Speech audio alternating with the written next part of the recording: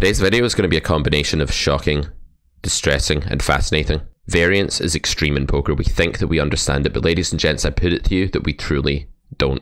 It depends what format of the game you're playing, but in some formats of this game that many of you are grinding, I think you're truly underestimating just how good or bad you can run over small stretches or even medium ones, or even ones that you might consider quite big.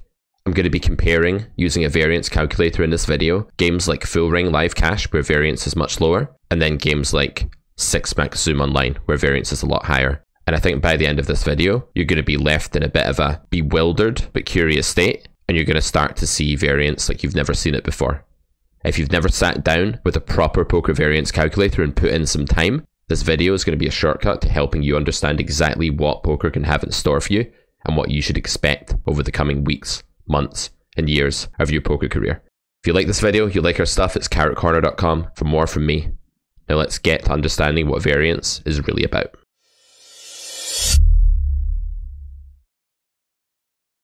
Alright guys, so this is the poker variance calculator over on primedope.com. I think it's created maybe by this chap, Mr. Arvid Klon. Don't know if I'm pronouncing that right.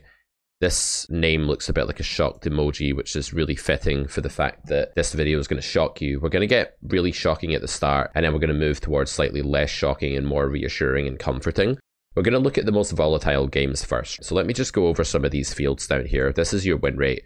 By win rate, it doesn't mean what you see on your poker tracker. When you look at your poker tracker graph or stats over 160,000 hands you have in your database, you're not looking at your win rate. You're looking at an observed win rate. You're looking at this number here. Your true win rate and your observed win rate will converge if you play infinity hands if you play a normal sample of like 100,000 or 200,000 hands that, you know, a, a recreational non full time poker player might play in a year or in six months or something like that, you're going to see a bit of fluctuation between those stretches. So I've coached people that play 200 Zoom on PokerStars, which is a game that is extremely volatile.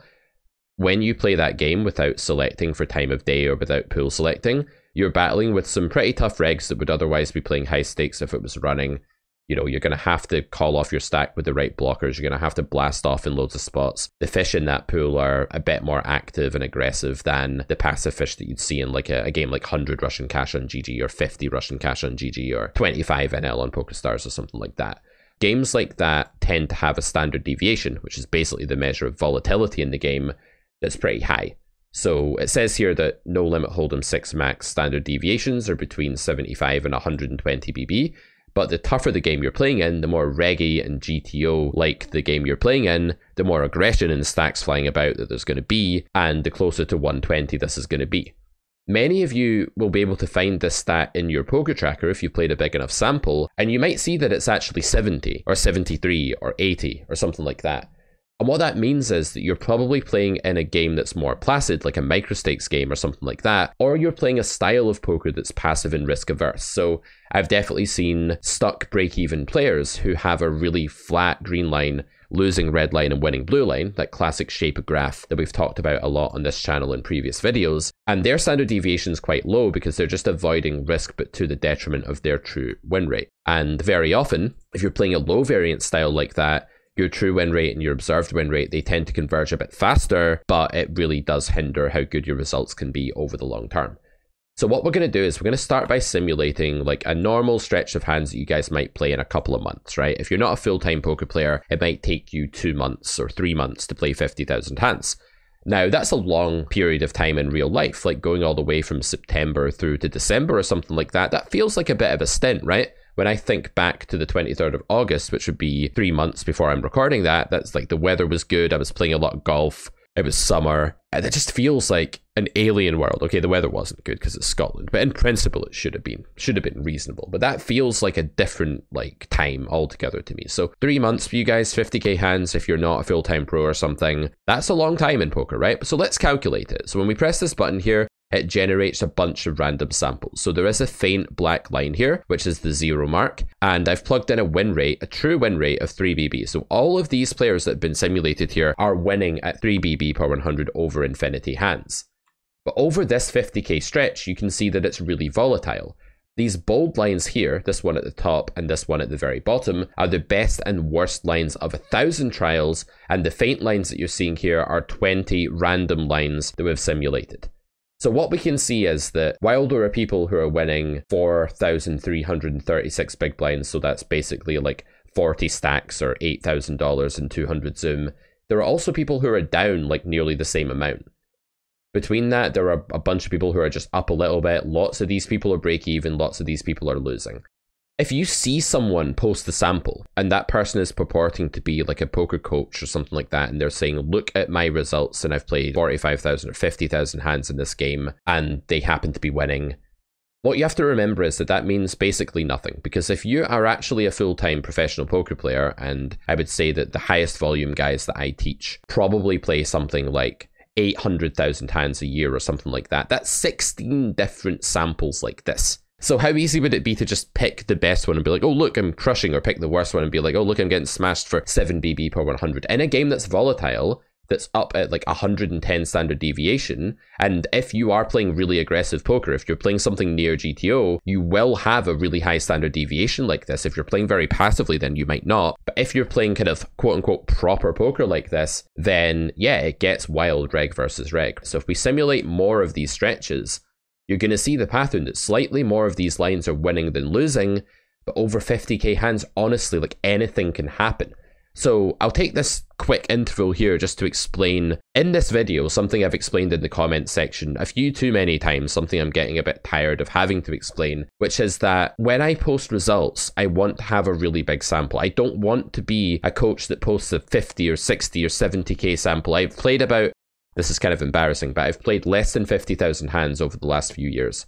I only play poker when I'm creating content, However, as I've explained, that's about to change. I've now committed to grinding out big samples at 100 Rush and Cash, then 200 Rush and Cash, and then hopefully dabbling in some higher stakes games as well. That's my roadmap for the next few years. And when I do post a sample, like I did back in the day, I used to have a 500,000 hand graph on my website, which I took down because I thought it was a bit dated. But when I do post a sample, it's going to be a load of hands. And you guys should honestly not worry too much about how you're doing in a game like this. If you are playing a highly volatile game, don't worry about your results over these samples. Just keep working away, keep plugging, keep grinding. Make sure that you're rolled but don't freak out if you happen to lose or break even over a stretch like this. So this one is a bit more controlled, this trial, because no one's really losing heavily. There are some guys that are winning like 65 buy-ins, which is really nice here, 6,500 big blinds. But if we keep calculating this again and again, you can see that there will be people running bad. So if you've had a really bad, let's say, quarter of the year, like a bad three month period or a bad six month period where you're like, man, I thought I was good at this game, but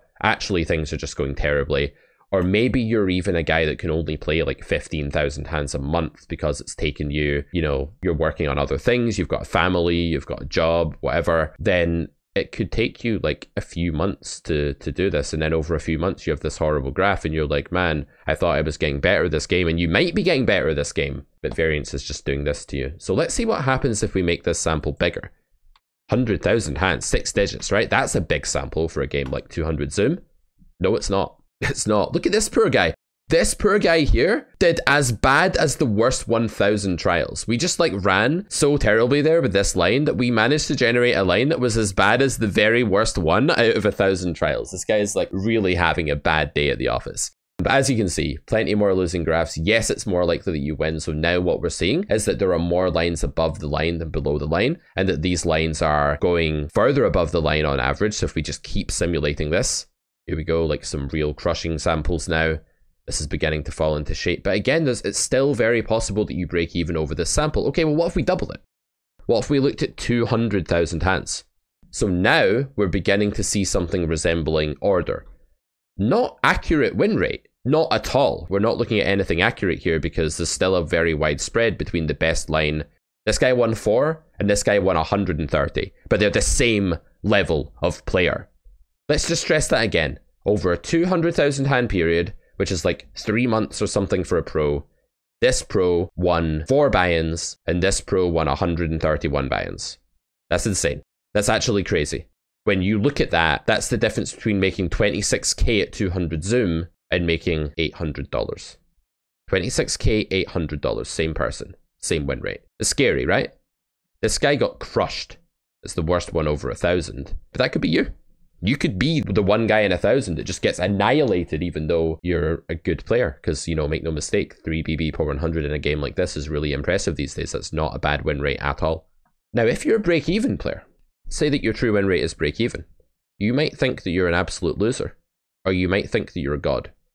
Because you play this sample and you're like, look, I won 14k at 200 zoom. Look at me.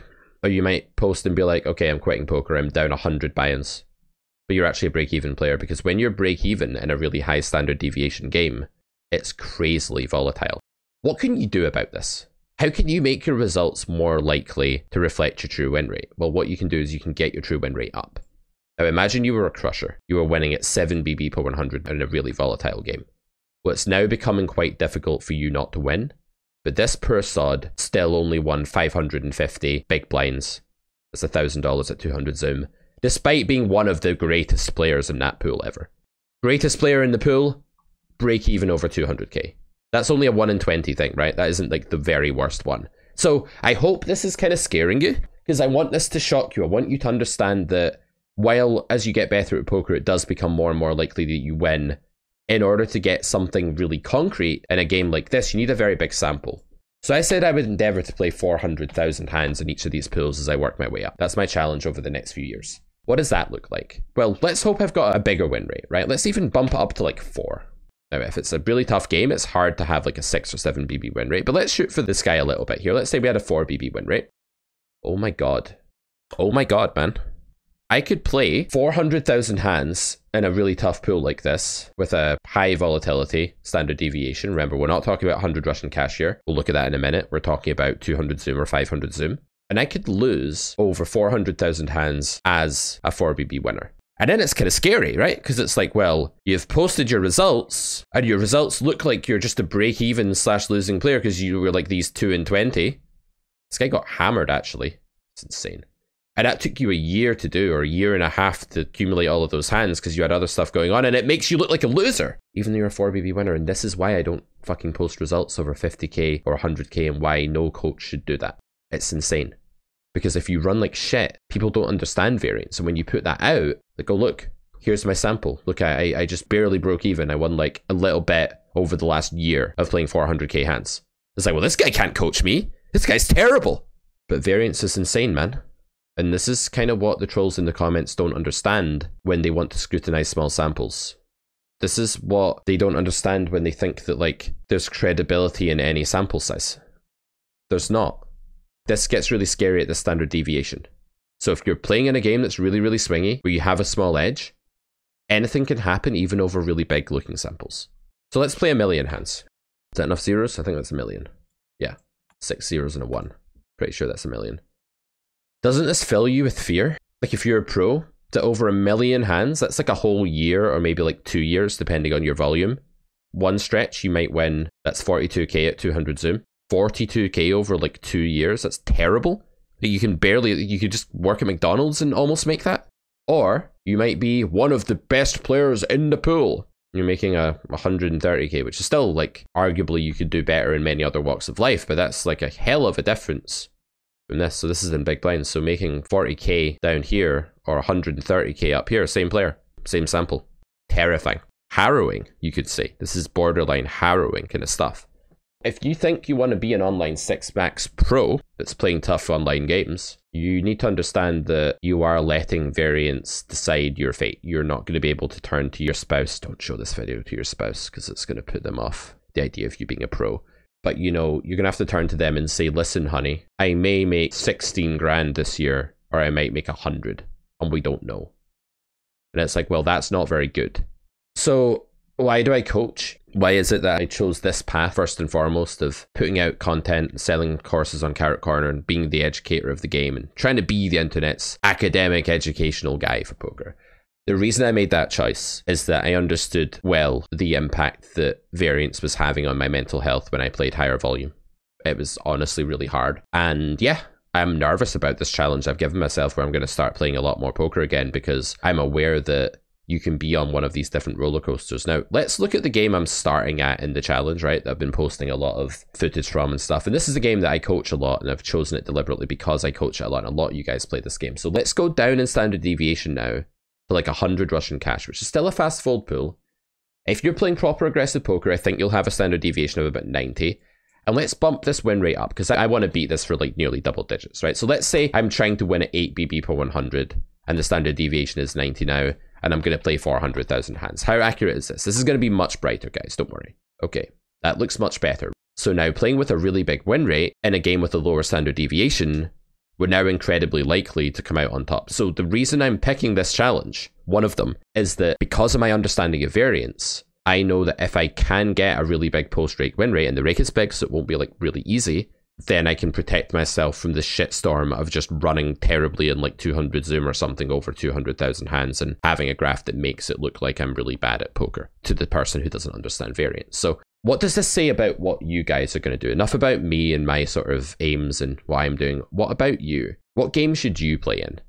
You should play in a game where you can have a win rate that's massive you shouldn't try and play in a game where you have a 2BB win rate, in my opinion, because if you do, you're just making yourself a slave to variance. If you can get close to a double digit win rate, and people can do this live, we'll look at live in a minute, but in like live 1, 2, 2, 5 with reasonable game selection, or even without, you can have 15, 20 BB per 100 easy. Like that's possible. I've worked with live pros that do that year in, year out, and there's still fluctuation there, but I've worked with people that do that. But if you're playing online, honestly, really, truly try and find a site that's soft Try and find games that are full of fish. Try and table select as much as is possible and is ethical, and try to get something close to a double digit win rate. And then play a big sample in that game. Don't just work your way up the ladder, clicking the PokerStars lobby like it's the levels of a computer game without having any idea what you're getting yourself in for. You might run good at 200 Zoom or 500 Zoom or something over 100k or two. You might think that you're a deity, but you can also get completely wrecked. Whereas if you play in a game that's a bit more stable, if you site select intelligently or you find good live games, you can have a double digits win rate and you can truly protect yourself from the shitstorm of variance. So game selection is just so huge. I can't stress that enough. Now, there's still going to be variation here. Like I could significantly underperform in this challenge. You guys could play for a couple of years and be anywhere in this spread. But as we keep clicking this button for a really high win rate player, we can see that this is what we're talking about. This is what we want. This is what you want to show your spouse. You want to say, these are the spreads of my possible results. Listen, honey, there's going to be a bit of fluctuation here, but overall, by and large, you can be assured that it's very unlikely for me to not make a good bunch of money over the next year playing in this game with this big win rate. So that's what you want to aim to do. What if you are a live player then? Well, now your standard deviation is going to go down even further. It's going to be like 70 or something like that. And now your win rate could be like 16 BB per 100. The trouble is that now your sample is going to drop because you can't multi-table live. You can't sit there in a swivelly office chair just going between all the tables. Imagine you could do that fold here, call here, check here, like a multi-tabling octopus with tentacles in each table. Tentacle flicking chips into the pot. You guys can picture the poker octopus in the middle of the card room. The big light on it. It's the star player. It's got like eight hole cams with the hole cards and the tentacles and the suckers. Suckers getting stuck to the chips and chips not being able to get the chips off the suckers of the tentacles. It's a bit of a nightmare being the poker octopus. But man, what a dream that would be. But we can't do that. So volume's restrained. And what do live players play? They play like 30 hands an hour. They play 40 hours a week. So that's like 1,200 hands per week times 50. It's like 60,000 hands a year, something like that. So what does this look like if you're like a full-time live player? Again, really good. Even though this sample is tiny now compared to the 400k sample we looked at previously, it's pretty damn impossible for you to lose as a live player. So if you're a live player and you've played for a whole year and you've lost that year, you don't have a 16 BB per 100 win rate. As the win rate gets bigger, the chances of you losing with that win rate become infinitesimally small when you're in a low standard deviation game like this. The two impactful things that make you safe over a small sample here are standard deviation and win rate. And this one is low for live player and this one is high. The reason this one is low, by the way, that live games are not very volatile, is that there are loads of fish just limp calling and folding the flop, and people aren't putting you to the test or tripling off, and you don't have to do weird stuff with third pair blockers for your stack. Not that often, anyway. So live players have it easy. The only problem is they have to sit there and catch moths in their mouth for like six hours a day. Just sit there like, like that Yoh Viral guy. You seen him on, on Game of Gold? He's just like, amount of moths that man has swallowed in his life, it doesn't bear thinking about. Like he goes for like a scan one day and the doctor's like, I'm really sorry to tell you this, but you've got 149 moths in your stomach and your intestines. Anyway, I digress. This is cool. This is stable. This is fine. We're okay with this. So what we're really learning is like what is a viable way to approach a professional poker career and what's not.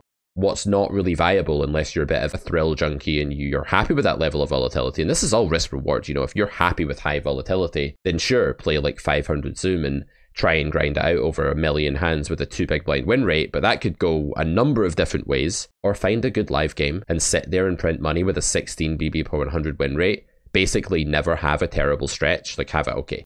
When you're a live player, like let's say you are this purple line here, I bet this part felt really bad because that was like a few months of break even and losing. It's like two months of losing.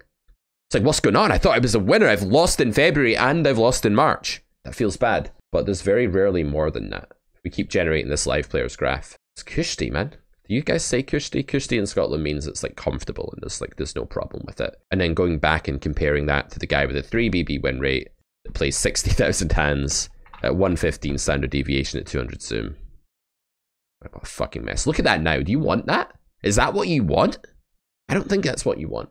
So I think we should probably game select if we want to reduce variance. And the reason we're reducing variance, by the way, or trying to, isn't just that we want stability and we'd like to know how much we're going to make in a year. That'd be nice if you're a professional. You want to know what your fucking salary is. Imagine you turned up at a job and they were like, well, we might pay you 7k this year, we might pay you six figures. It depends on the role of this RNG. Now, would you like the job? You'd say, go fuck yourself, wouldn't you? But the other reason, other than just like sensible stability and being able to plan how you're going to pay for electricity, you might want to reduce variance is mental game when you're playing in a pool like this, and let's trace one of these lines, right? Let's go for this guy, this purple line. This guy didn't even make it this far. He probably got to here, and he was just like, man, this is going badly. A lot of these guys that I teach are just like, I, don't want to play this game anymore. He just changed game, or he just like stopped playing for a while, or something like that. That happens all the time. And this is only 60k hands. So if amateur players quit after like 40k hands of running bad, which happens all the time, let's go back up to like 400k now. Imagine you're a pro and oh, it's really hard to see, right? But let's just say that you're like one of these lines here. There's going to be periods here where you just absolutely downswing beyond belief. Like this pink line here, it started doing okay, got back up to break even, then it just hemorrhaged money down here again. And that's like a 50k hand stretch, 100k hand stretch right there, that downswing. So these downswings are also like brutal. Downswings in this game can go on for like 100,000 hands easily, but that's impossible when you're playing in a good game. So again, say you're an 8 BB winner. Let's say the game standard deviation is only 90. You're just not going to have that bad a downswing. So this is night and day. But no one really gets this. And it's a huge problem in the industry that people don't talk about variance more. It's such a debilitating thing. Look at this, for example. The probability of running at or above an observed win rate of zero, because we left that blank, over 400,000 hands with a true win rate of 8 BB per 100, so that's the number you don't see, but it's your true ability, is 100%. It's impossible for you to lose over 400,000 hands if you are an 8 BB winner in a game like 100 Rush and Cash that has roughly a 90 standard deviation, in my opinion. I could be wrong about these standard deviations, by the way. I'm estimating here based on what they've said and based on data I've seen in students' databases. But most students, I want to stress this again, most of you are going to have a really low standard deviation because most people are way too passive. So when you're playing passive poker, you have a low win rate and then you don't escape variance because your win rate's too low. Then when you start playing better poker, you have a higher win rate, but then your standard deviation goes up, so you don't fully escape variance either. So you get what I'm driving at here. Let's look at the 3BB winner again, over 400,000 hands in the 200 Zoom game. Let's look at it in numbers. So the probability of running at or above observed win rate 0 now, over 400,000 hands with a win rate of 3 is 95%. So one time in 20, you're still losing over that sample. One in 20 winning regs is losing over that sample. Now, if you reduce the sample down, you're a lower volume guy, you can only play 200,000 hands in a year. What does it say now? Only 87% that you're winning over 200,000 hands. If you play 100,000 hands, only 79% that you're winning. Only 79% of your 100k stretches are above zero. And if you play 50,000 hands, then there's only a 72% chance that you'll be above 0 BB per 100. So 28% of the time, you have a negative BB per 100 showing after that sample. So I hope that answers some questions about how variance works. I hope it maybe steers you guys down the path to game selection where you can drive at a really high win rate. Maybe you try and avoid the really high standard deviation volatile games where you're reg battling. Reg battling is really silly. Like playing in a game that's super reg infested and tough is silly when there are other games available Live games can be amazing. You can win double digits, just to summarize here. Softer sites can be amazing. Even if the rake is higher, like you're paying an extra couple of BB per 100 in rake, it might be that the game is soft enough that you're winning 5 BB extra and it's still worth it. So don't always play in the lowest rake game. That might not be the best game. Do look for a rake pack. That can really help cushion your bankroll and, and help you avoid downswings or help take the edge off them. And definitely game select, site select. Be sensible, you know. Part of being a professional or semi professional or even amateur, you know, recreational poker player, is playing in a game that you think you can win in. And so it just doesn't make sense to put yourself in awful games. I'm sure there'll be loads of discussion on this in the comments section. Let me know if you think I've misinterpreted any of these standard deviations or something. Let me know what your own one is, for example. Let me know what your style is, and we can talk about this more. And I'll see you back here for another video really soon. It's carrotcorner.com for everything from us. Take it easy, guys. Bye for now.